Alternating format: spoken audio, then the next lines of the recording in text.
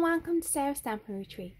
Today we're going to be creating a quick card with a really nice technique to bring out the most in our embossing folders. So we're going to add some shine to our embossed panel with some gilding wax. So we're going to be using the 3D embossing folder of the month from Spellbinders, which is this lovely pine one. And this is going to be the first of my Christmas in July cards. So I'm going to be using this Copper Shine Metallic Gilding Polish, and that's a Cosmic Shimmer one. And I have to say, I've had problems with this technique in the past. So I'm going to try it using one of these scrapbook.com ink blending tools, which is like a rounded end ink blending tool. And I bought this specifically because I wanted to try techniques like this.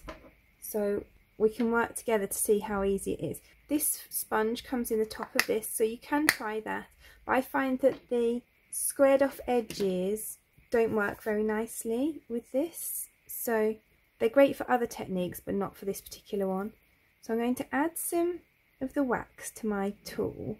And then I'm going to just take off the excess on here because I don't want it to get all like globby. And then I'm just going to kind of lightly apply it over here. And I'm just kind of lightly dusting it over the surface and actually I'm really liking how well it's kind of picking up that top layer. And there's a little bit going on to the bottom layer but not too much. It's not making it into like a copper cardstock which is the problem I've had before. Before I've had big globs of the paste going on and getting onto the background of the cardstock and this is given actually a much nicer effect. You can see I just opened this embossing tool. I've not done this tool before. So this is kind of a beginner's guide as such. Okay, you can see I put a bit too much on there. It's gone a bit on the background there. I actually made the background bigger than I needed it because I thought that I would probably make a couple of mistakes because it is my first time doing it. So I would say go for a nice thin layer of the gilding wax and build it up if you want more rather than that time I had a bit too much on my sponge. I think because it's just in that one section, it's not actually ruining the panel too much.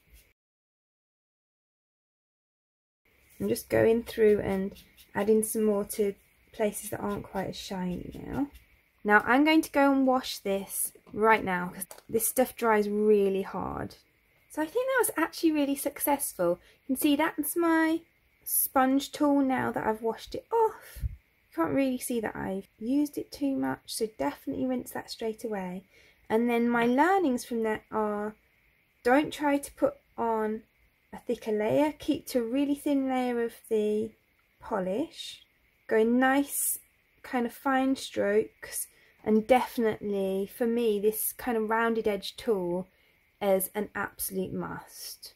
I've never had success with that before with the kind of like square edge tools. And actually this bit that I've got on here where I've kind of like taken the excess off my brush you could definitely die cut something out of that. That's really pretty. So I'm going to set the panel aside for a second while I just create my bow. So this large bow die is the Stitching Die of the Month from Spellbinders. And I think this one is absolutely gorgeous. So let me talk you through it and then we're going to make the bow. We're not going to do any stitching today, but I will have a video for you in a couple of weeks where I am going to do the stitching on it.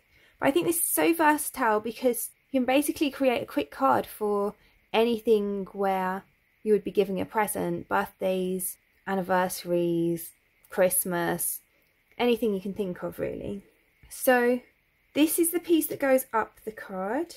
So I've only used the outsides of everything today because I don't want to do the stitching, but these inside pieces are the pieces you use if you want to do the stitching. Then this bit kind of goes either side of the bow when you want to do it across the card. then we've got these pieces, that's obviously the main body of the bow, and then this is the piece to go across here. Again, all the stitching pieces are removable, so I've removed those for today's card.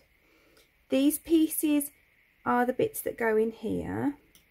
And then this piece could be used as a decorative piece so you could kind of repeat it up as kind of almost like the wrapping paper on your card.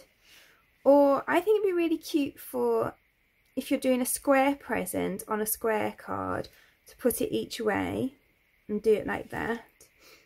There's lots of different uses for it and you can use this with it as well so that could go on top of it if you wanted or that could be used separately. So there's so many different ways to use this but like I say today I've only used the outside pieces not the stitching pieces. So let's just glue this bow together. So I've created this bow in copper cardstock. I've actually got two shades of copper cardstock. I just happen to have them both in my stash. And so I've used both shades. So I'll show you where I've used the darker shade when I get to it. So this is the lighter of the two shades. If you don't have two shades, you could always use like golden copper or you could use copper with a brown or something like that.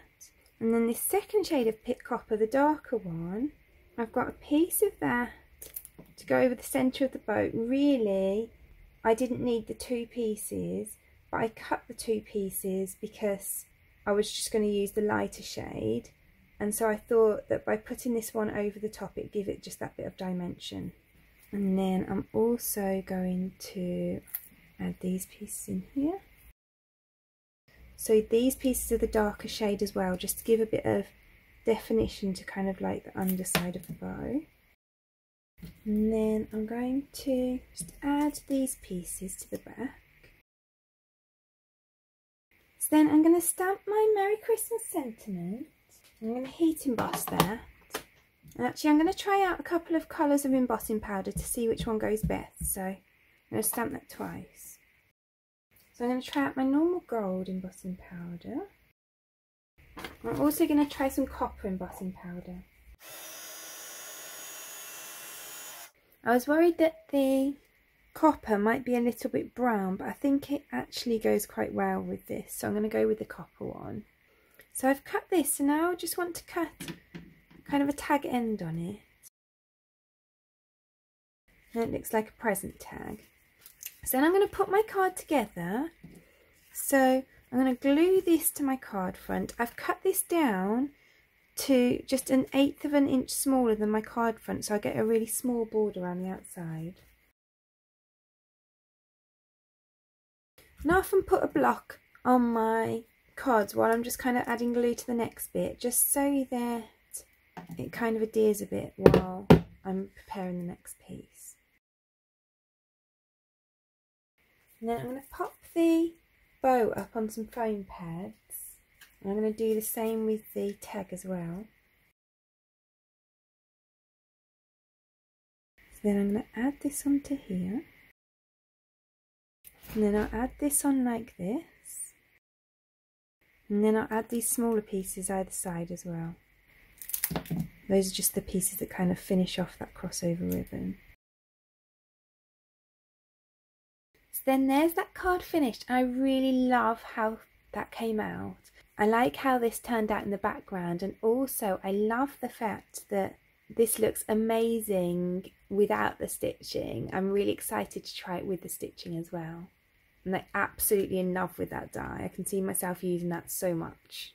So I really hope you enjoyed today's card. If you did, I'd appreciate you clicking like below.